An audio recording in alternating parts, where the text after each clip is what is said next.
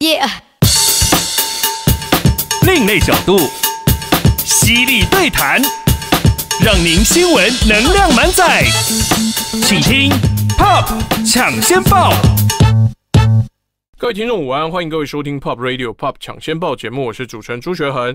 各位听众朋友可以透过我们的 App 收听，或是透过 YouTube 直播来观看我们节目，也可以订阅我们的 YouTube 官方频道九一七 Pop Radio。那今天的来宾呢是呃最近刚出了一本新书，叫做这个字要念独处还是独处？独处。独处嘛，因为呃，我们现在现场的来宾是社团法人中华赶路的燕全人关怀协会的执行长刘浩刘执行长，先跟大家打个招呼吧。各位听众，大家好，朱先好。嗯，那刘执行长，我们可以先问一下，当初成立这个协会的原因是什么？我我们先稍稍说明一下，因为本人跟本节目其实很关切在台湾。毒品泛滥所造成的影响，因为往往呃一个人受到影响之后，他整个家庭就被拖下去了。那所以整个社会如果不能够正视毒品的影响，你持续把它关在阴暗的角落，或者是觉得算这些人就废了，那你迟早会出现更多的问题。所以这一次为什么请这个刘浩执行长来，就希望跟他聊一聊。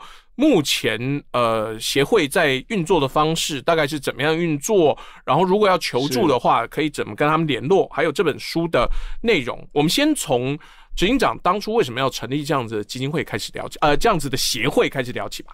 呃，我在二零呃零一年的时候，呃，我的个人的信仰或者是我的工作事业，还有。我的家庭的婚姻生活关系，嗯，就同时在那个时间点，嗯，遭遇到瓶颈啊。是，那么我回归到我的信仰的一些的训练，然后重新再醒思，嗯，下个阶段人生要怎么走，嗯，啊，我负债，我赔了手上的现金资产大概五千万，嗯，然后又负债了三千万，嗯，啊，总共搞掉了七八千万的那个情况之下呢，呃。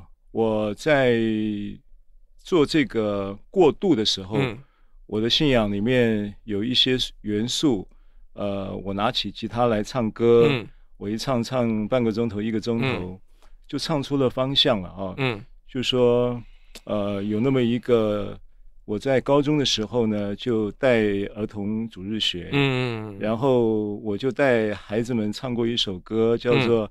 迷失的羊，你今在哪里？慈爱天父正在寻找你啊！那这首歌的典故是在圣经里面的路加福音十五章啊，耶稣讲了一个比喻，说一百只羊内中缺了一只，嗯，牧人就必须要撇下那九十九只，去找那一只迷失的羊。是这个想法其实有一点奇怪。嗯，因为大部分人都会觉得说九十九只羊顾好就好，嗯，那一只跑掉就跑掉了，嗯，干嘛去找它呢？法家的概念可能就是要想办法把那一只羊以后有机会再处理，但我先把九十九只羊照着就好。对，这个应该是主流的想法啊。但是耶稣这样讲，我其实唱一唱，我忽然唱出了一个想法，嗯，啊，耶稣之所以这样讲呢，他在表达说。这个一百只羊那一只呢，缺的那一只很重要，嗯，因为它很像是提防的裂缝，嗯，它就是一个家庭的破口，是，或者它是一个社会的破口，嗯，所以填补社会圆融缺口的理念，嗯，就成为我们协会的宗旨。哎，但等等，我想要问一下，因为呃，一般人可能会觉得，如果我欠了八千万，或者我刚搞掉八千万，我一定要先以还债为目标，没有办法。马上就觉得，那我可以扛起更多的责任了。这个转折是怎么做到的？其实第一个就是在心态上，我已经疲累不堪了。嗯嗯，我觉得我没有办法在所谓的还债或东东东山再起。嗯，我当时只是一个。动念是说我要怎么样继续负我人生的责任？嗯，因为我有两个孩子，当时一个小学三年级，是一个只有呃三岁。嗯，啊，那么我的太太呢，也因为某一些原因，刚刚跟我也有关系。嗯，她并发忧郁症，而且非常严重。那一下子就有三个家人要协助了。是，嗯，所以我的想法只是说我怎么样运用我自己在这个时刻。能够做一些继续负责任的角色扮演的事情，然后我又对我的信仰能够呃应用在我的生活里面，所以我就从这个方向去摸索。嗯，我觉得这个东西不是我自己思维里面的元素，这有时候呢就是外面从天上掉下来的想法，叫异想天开。嗯，那真是异想天开。所所有的人都有朱先同样的问题，甚至我也自己问我这样的问题，但是有时候他不太讲道理。嗯，那我只想说这个方式可以活下去。嗯，我可以继续为人父为人父。嗯，负我的责任。嗯，我当时就这么一点想法。嗯，继续能够活下去而已。那为了继续能够活下去，要成立协会。这个协会一开始的时候有没有遭遇什么困难？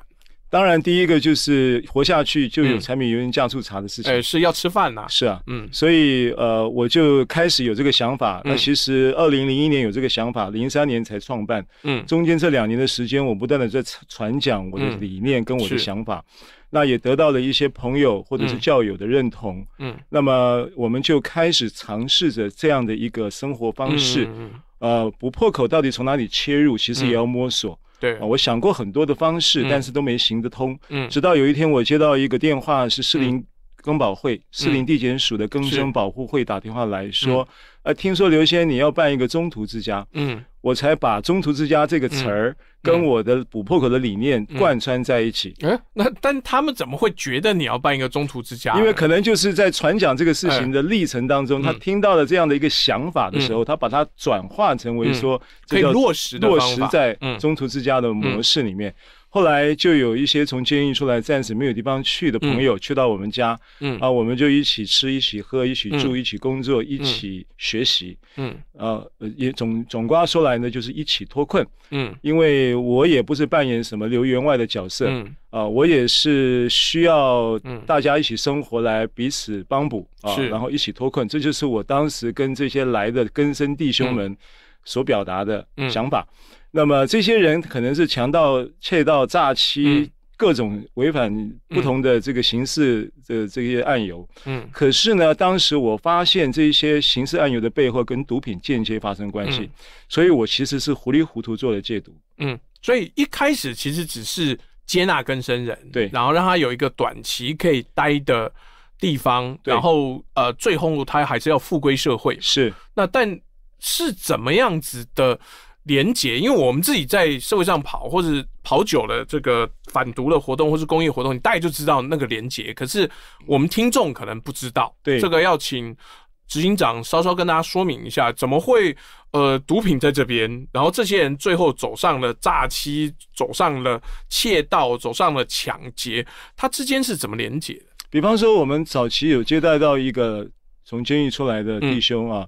其实他是原住民，然后在台东，嗯。啊长大的，呃他也是这个我们呃所说的所谓的主内弟兄啊，啊就从小原来也有信仰的，也是有信仰的。然后他的父亲甚至也是地方上教会的长老，嗯，那他就是因为毒品的缘故，然后产生了这个窃盗的，嗯嗯，这个刑案。哎，但这个部分我们要插下嘴，以他所处的环境哦。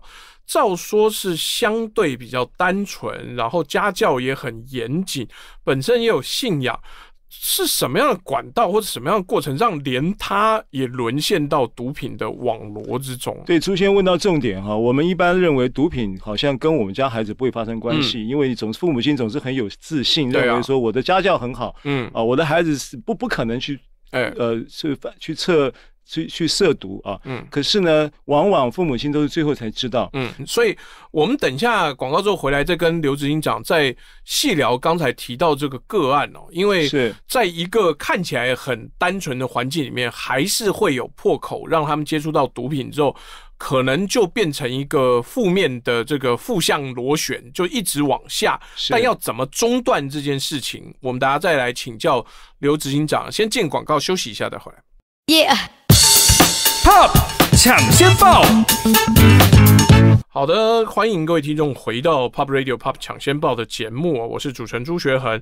今天的来宾呢是独处的作者刘浩，那他也是社团法人中华赶路的雁全人关怀协会的执行长。刚才最后广告前，我们提到了一个个案啊，在呃东部的一位原住民，他其实年纪并不大，那他家里也有完整的信仰，爸爸也是社会地位很高，但他接触到了毒品，然后呢？OK，所以这个弟兄呢，第一个他的性格上面，个个人的自我形象并不好。嗯，那原因是因为他的家里面他排行是老幺。嗯，然后他的姐姐哥哥呢，从小呢成绩都非常优异啊，所以他在家里面呢，他就扮演一个好像是一个多余的人。嗯，都被拿来比较，又不赢，而且永远被比下去。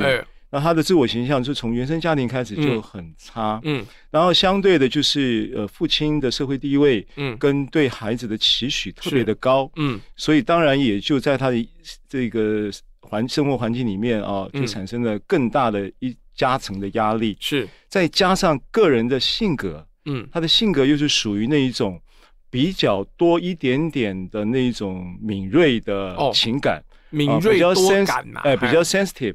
啊，然后又有又有一些呃，这个这个叫做呃理性的不够充实，嗯，所以很多事情他没办法分析哦，他比较感性一点，对，嗯啊，所以就这么一个人，嗯啊，那很善良，好好的发展应该是一个艺术家呀，有可能啊，啊，就是说很这个个案呢，基本上有这样的一个。原生家庭的人际关系结构，嗯，就足以让他面对很多的心理障碍。是好，所以当他呃在这个国中的时候，嗯，啊，他国中后来呃毕业业就没有再继续升学。那呃，在国中的时候就认识的一些朋友。是啊，那你不要认为说台东乡下这种地方就不会有毒品。嗯啊，他这个很多时候。这个毒品到了这个村子里面，它就是一串一串，就全面扩散。它就是一下子就是一串的，因为他们的这个呃村庄里面的这些人的关系是很紧密的。哎，是比台北这些地方要紧密太多。是啊，是啊，而且同才都用，我也用，我融入了这个团体。是他觉得他在这个同才的群体当中有了一个被归属的接纳啊。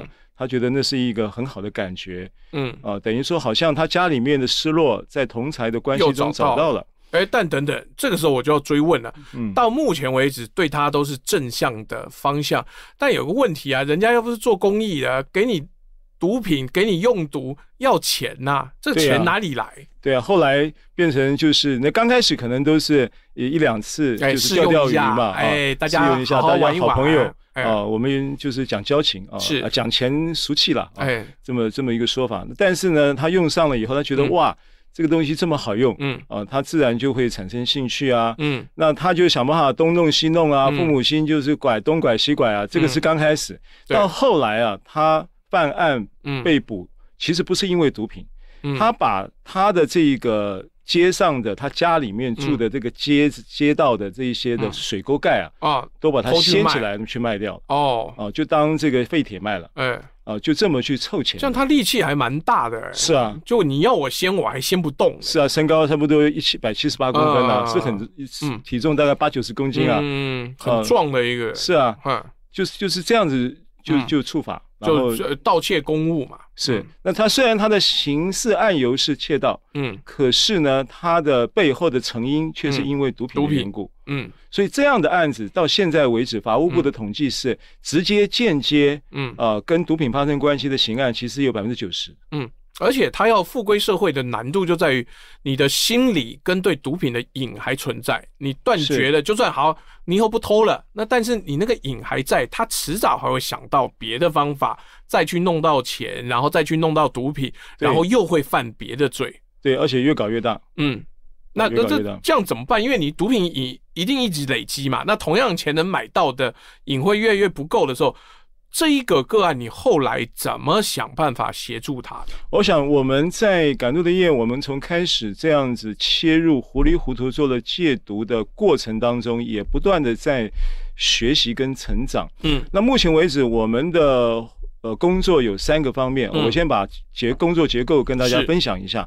一个方面就是介质的工作，嗯，但是介质工作呢这一端是最消极的，嗯。啊这一端也是成本很高的，是，而且它的果效呢也是相对比较看不到的，对。啊，但是呢不做又不行的，嗯，那么我们就呃在进行。零三年创办，到了零八年的时候，我们觉得不能只是停止在戒治，所以我们零八年开始正式的投入防治的工作，就是反毒教育的这个系列开始进行。那这个部分我想追问一下，因为如果要戒治的话，应该要有一个实体的位置，呃，不管是农场，或是教会，或者是宿舍，是这个地方是在哪里？对我们是在。北投小平顶，嗯。啊，那个附近，我以前在那附近当兵哦，哎，对，我在关渡那边当关渡师，嗯，对对对对，啊，那我们是在小平顶这一头，嗯，你那个是关渡，哎，在另外对另外一头，对，那这个我们的开始的时候创办呢，就是我们在讲，呃，做这样的一个社会性的服务工作，然后我其实因为我过去我做过生意嘛，啊，所以我会有一点点。呃，定位的观念就是我怎么样去自我定位，嗯，我的工作，对，我这个服务的性质，我在定位的时候，我就会知道说，呃，我们现在所服务的对象社会观感并不太好，是，所以大概不会有什么捐款，嗯，啊，我们就得要想办法自给自足，嗯，所以开始的时候，我们就是从打零工开始的啊，后来呃，我们因为坐落的环境。很好，嗯。啊，有很好的风景，所以就有人就建议，就是说你可以呃煮咖啡、煮饭啊。我太太很会搞这些嘛啊，那我们就来带朋友来吃饭，然后就就就买单啊，就变。后来我们就成立了开了餐厅，然后就成为庇护性的餐厅啊。那么就这么运作，呃，大概有大概十年、十一年，我们开餐厅前后开了十一年，嗯。好，那一直到二零一七年的时候，我们呃前就是最高的时候开到四家餐厅。哎，可是餐饮业在台湾其实水是很深的。哎，是啊，我们也就面对面临了在经营上的一些技术性的问题、经营策略上的问题、管理上的问题各方面，所以我们也承认我们不是专业的餐饮人，我们就退场。嗯，啊，退场以后又回到了从介质到防治这两端的会务。嗯。啊，本来我们还有一端是跟劳动部有合作的，做培力计划，做多元就业方案。对。但这个部分没有了以后，我们现在就是坚守这两端的工作，一个是戒治，一个是防治。嗯。那最近又开始建立一个在接触到。这么多的这些的儿少，嗯，我们在做防治的时候是到学校去巡回嘛，是。那做儿少的这个服务过程当中，就有很多的关心学生状况的老师，是，就会来找我们的这些讲师，请求帮忙啊，请求帮助，就帮助什么呢？不是涉毒的问题，嗯啊，也不是什么其他问题，而是。这个孩子现在是高危险状态，譬如说他的父母亲是吸毒者，是。那这个孩子现在就已经产生了一些高危险的一些的状状况。也许他还没用，还没有，但他就站在悬崖边，可能就快要掉下去了。要怎么接他，或者把他往后拉？是。这个就变成很高难度的东西。但我们先进广告，等一下回来再请教执行长，因为这种往往站在边缘的人要帮忙，他自己是不是觉得需要？那是呃，就是我们如果说这个毒瘾是一种病，他有没有病视感？那不然你硬是帮忙他也没有用，他不觉得需要啊。是是。那怎么做到这件事情本身很有技巧，很有挑战。是。我们先进广告休息一下，待会儿。Yeah，Pop 抢先报。好的，欢迎各位回到 Pop Radio Pop 抢先报节目现场。今天的来宾是呃，社团法人中华赶路的雁全任关怀协会的执行长刘浩。那刘浩执行长过去投入呃反毒跟呃这个毒瘾戒治，甚至之前还包含了呃协助毒瘾者重返社会，让他。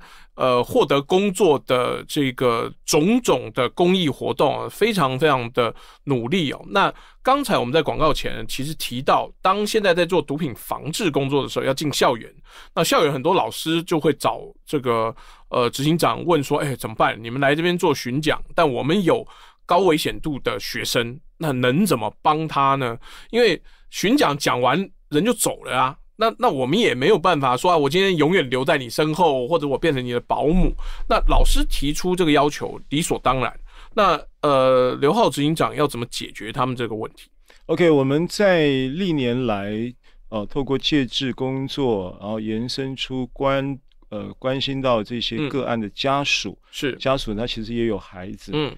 啊，那也就接触了这么一个呃工作的累积的经验当中呢，又带出了反毒教育。嗯，同时过程当中，我们也有一些特定的区域，比方说我们在开餐厅的时候，是。我们餐厅附近坐落在那个呃方圆也许三公里、五公里之内的一些的呃国中，是。我们其实都有去进行高关怀的一些课程。哦，协助辅导，对对对对，就是跟辅导老师来合作啊。那这些都是过去的经验。那这些经验其实让我们对这些孩子呢，在进行辅导的时候有不同的风格。嗯啊，第一个当然这些从事陪伴跟辅导的这些老师，嗯啊，所谓的讲师或老师，都是我们自己培育出来的过来人。是，就是他本身过去就是跟他们这样子过程。呃，一样的过程长大，自己有经历过，对，也经历过，并且呃，你说呃，黑帮文化或者什么，他们也都有涉猎，嗯。啊，那毒品这怎么来怎么去，他们也清楚，所以呃，对话的时候就直接，嗯。啊，所以我我就这样子说吧，那是一种平等对话的模式，是。啊，那么其实呃，体制的教育辅导系统跟这个孩子们之间最大的 gap，嗯，就是对话模式不同。哎，不一样，毕竟是师长。对，嗯，那现在我们这些弟兄呢，就有一个特殊的 position 啊，能够跟这些孩子能够呃侃侃而谈，孩子也很愿意。所以到一个地步，就是呃，我们的餐厅每一个礼拜，嗯。啊，开放给他们有一次的聚会，嗯，并且呢，提供餐饮。是。啊，然后我们的这些过来人的老师呢，就带着他们。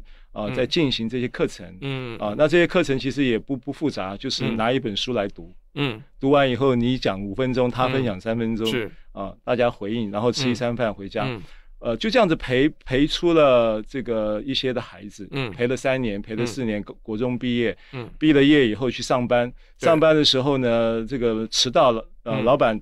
找不到人，还会打电话来给我们这些弟兄，哎，啊，把他当家长一样的。嗯，那这一个过程呢，是累积出来。现在面对我们这个新的，嗯，啊，所谓的二手毒小孩的关怀，嗯。啊的这个专案工作呢，打下了很好的基础。嗯，所以现在我们的运作策略是在全台湾呢定了十个县市，嗯，作为我们锁定服务这个族群的目标县市。是，那原因是因为我们经过了这个专案的这些的执行，过反毒教育的专案执行的过程当中，我们已经去到了五百多个学校，嗯，我们已经接触到了这个十万多个以上的。孩子跟我们进行反毒教育课程的互动。是。啊，所以呢，这一个基础就过滤出了有十个县市呢，对于这个议题是特别呃是给力的，嗯。啊，所以我们就以这个为目标，并且进行每一个县市呢，在进行个案的开始有个案的进这个开案的动作。然后也并且呢，在每一个县市呢，会设定一个工作站。嗯，工作站不会是我们协会自己去设立，对，我们会找当地的教会。嗯，啊，教会的系统成为我们协会这个单项工作的工作站。对，所以我们目前的工作的结构就是三个部分。嗯啊，戒治。对，然后呢，未染毒的儿少的防治，还有高危险群的药引家庭儿童成员的服务。那其实呃，反毒或者是。介质跟刚讲的协助这些高危险群的这些年轻人哦，它就像是一个永远不会停歇的矛与盾的战争呐。是，那盾进步了，我们保护他们、协助他们的方法进步了，矛也跟着进步。那矛就是新兴毒品毒贩的技巧。那我最近也在接触新兴毒品的防治哦，因为新兴毒品像是有一些呃单纯就改变化学式的，或者是单纯把原来的安非他命渗到。呃，软糖、果冻，或是梅定，或是咖啡包里面，对，那它就变成一个渗透性更高，然后甚至它的致死率更高，因为根本没有临床实验嘛，这些人哪会拿来做什么？哎呀，这测试一下有没有后遗症？对，他不管。那这些武器的进步哦，是不是对你们的工作也造成了一些挑战？当然，这个是全面对整个社会，包含政府各个部门的一个很大的挑战。嗯，那么对我们来讲呢，我们其实马上面临到的是什么呢？我们面临到的是所谓的您刚刚所提到的这一这一些药物的不同的形式形成的一些食品化的趋势，然后并且呢。它其实统称呢，它有的变成说，好像譬如说现在最畅销的叫做梅子片嘛，哎是啊等等啊，还有小恶魔咖啡包，对啊对等等了，LSD 的邮票啊什么等等的。那这些东西我们统称 NPS，嗯啊，New Psychoactive Substances。那这个联合国毒品犯罪办公室呢，针对 NPS 的市场调查有有过有有给到几个数据啊。二零一二年开始一直到二零一七年都还有 update 的数据。一八年好像最多市场上流通的品相已经到八百多种。是好，那这样的一个情况呢，我们要看的就是说延伸到市场的反应是什么？为什么会有那么多人去做 NPS？表示什么？表示它的市场很大。是，那这个市场很大，那市场市场很大的意味着什么？意味着客户群很有实力。嗯，那客户群是谁？嗯，孩子是，客户群是孩子。嗯，然后市场很大，就不断的推陈出新。好，在我们这一端，当然这是一个很大的问题。嗯，但是在我们这一端，马上面临到的是什么问题呢？嗯，就是个案来的时候年轻化，并且是 NPS 的患使用者，然后他的毒品的反应。之后，就是因为用药之后产生的脑部的这些的损伤、动化，或者是各种损伤的情况，还有所所谓的精神官能并发的情况，幻觉、什么失觉失调的情况，这些情况跟海洛因、跟安非他命、跟什么大麻、跟酒精这些东西是截然不同的。嗯，所以这些东西很可怕。所以我们最近接触到一个个案，它就是这样的问题，就产生视觉失调的这样的症状。然后呢？他就是再加上，当然有一些心理因素、个人的自我形象、各种性、原生家庭带来的这孩子的个性等等都有都有。所以毒品在每一样毒品在不同的人身上会带出多样的反应。是。那这个个案就让我们很头痛的是说，譬如说弟兄接待他，大家接待他，很很想帮助他，很想陪伴他，因为是过来人嘛。对。好，那我们的同才的服务是做的很周全的。嗯。那这些他来来了以后，他。隔了三天五天一个礼拜，怎么这个人他的原子笔的笔芯会被人家抽起来？然后那个人呢，他的橡皮擦呢会被剪成一半。嗯，然后呢一下子呢他的什么洗发精不见了。嗯，一下子呢他的什么东西，什么床头上会有一口痰。嗯，什么等等的，搞半天都是他搞的。嗯，就他的攻击性，他就是一直就是在暗地里去，就譬如说今天我跟某某人。呃，在对话的时候，我有一句话，我觉得我受伤了，不满意，不满意了。他不会跟你做言语上的完全不沟通，完全也不沟通，完全也让你看不出来。嗯，他就去私底下进行这些动作来报复。到后来动作越来越大，嗯，到后来到后来他们不会针对个人了，嗯，到后来他就是破坏公务，嗯，那我就心想，他再搞下去，可能搞到邻居了，对，没办法，只好请他，嗯，把他送到。呃，疗养院去，然后请医师按着，因为他原来的就是疗养院，他可能身心理都有创伤。对，其实很多个案他已经并发出来的精神官能的问题，是我们没有办法服务的。对，因因为我们这样讲坦白了，新型毒品麻烦就麻烦在先例太少，他可能今天出来一个新的混合药物，后天出来一个新的化学式。我们刚刚讲，他没有临床资料，所以他的临床就是在这些消费者身上试。试到最后出来的新状况是，哎，你去查药点，或者你去医生说过去有没有类似东西，也都没有。嗯，那这样子造成的麻烦就是它既难查又难定罪，然后后续的后遗症又更多，甚至致死率更高。我们等一下先进广告，回来再讨论一下，那这个到底怎么办呢？新型毒品 NPS 就精神活性物质哦，如果变成新一代的。毒品，它甚至罪责比海洛因要低。那你在毒品的规范上面也没有那么重，或者是那么重视它的话，那难道我们接下来就束手无策吗？我们先进广告休息一下，再回来。耶，Pop 抢先报。好的，欢迎各位回到呃节目现场。我们今天请来的是。呃，独处的作者刘浩执行长，如果各位学校想要举办反毒活动，或者要反毒的巡回或讲演的话，可以上网搜寻他们的协会，叫做社团法人中华赶路的雁全人关怀协会哦，他们会有相关的服务，或至少可以为你指引出一条明路来。那我们刚刚前一段其实聊到新兴毒品。原来大家就觉得就是化学式变一下，然后或者是有一个新的混合方式，但现在对于你们第一线的防治戒毒跟辅导来讲，已经构成了很大的挑战嘛？嗯，是的。所以刚才我们提到了，我们在这个市场上产生的这些的个案，到了我们戒治端的时候，我们会面临处遇的困难。那当然，这个没这个困难。也同时也挑战我们在这个储域功能上面的提升了，对我来讲也是一个学习。没有，我我讲比较辛苦一点，就是以前方法现在帮不了。对，就是出来新的。我我们刚刚讲新兴毒品，可能一般人还不知道。我随便举个例子哦，bathing salt，预言这个东西，在呃之前在迈阿密，在美国也造成了很多困扰，是它根本就是一种强化性的战斗物质。就你吃了之后，因为你完全丧失。